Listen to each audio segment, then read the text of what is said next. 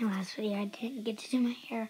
Didn't do it long enough time. So now I'm going to show you how to do my hair. My bathroom first, I'm going to brush it. Now I'm going to spray a little. Now I'm going to put it up in a pony. It's all up. I'm ready to go. Bye.